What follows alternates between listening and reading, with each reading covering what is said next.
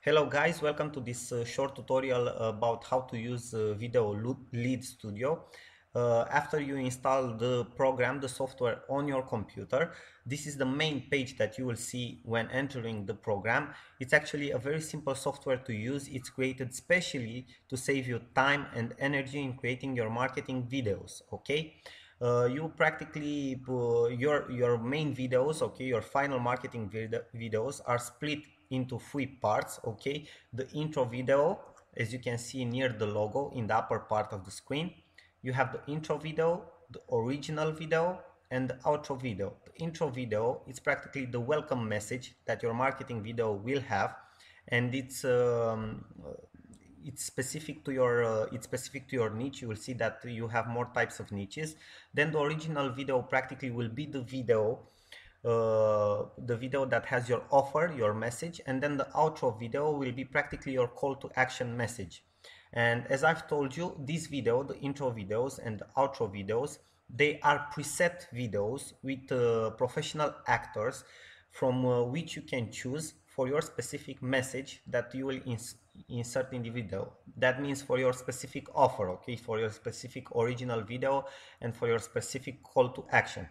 And practically from the beginning, for example, now we have selected the intro video. We will first select our intro video. As you can see, if you press the button, if you press these three buttons, uh, the software will take you to the to the specific page from which you can choose your video okay we select the intro button and in the left side of the screen below the logo we have the niche drop down menu okay from here we can select our niche. And for example let's select affiliate niche.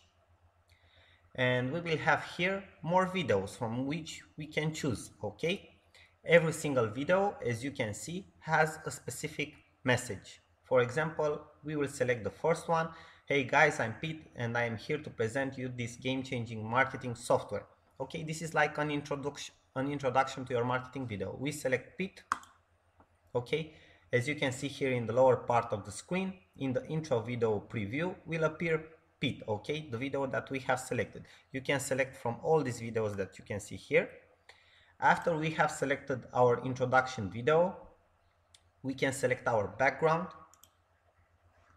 Okay, for our introduction, we can put a custom image if we want.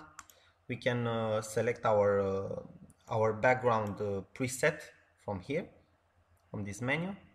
We can also put a video background if you want. For example, uh, let's uh, say YouTube one, okay. And after that, we are done with our intro video and we can see like a, a, a quick preview under the intro video, okay.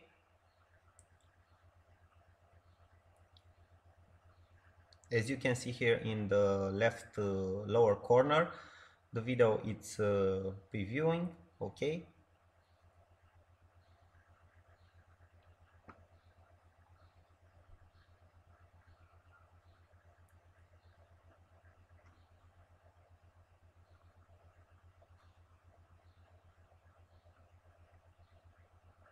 okay you have seen it guys. Okay so this is how you preview your intro video. After you you select your intro video and you select your background. For example uh, when you select your intro videos you can also select your actors okay? But anyways you have all the all the videos here okay? Then you go to your original video. You press the button original video from your upper side of the screen okay? And practically you will have to upload uh, a, single video from somewhere on your computer from a folder okay? Or you can select to upload all the videos from a specific directory from your computer. And you will select a single video then you save okay? I will select just uh, an example.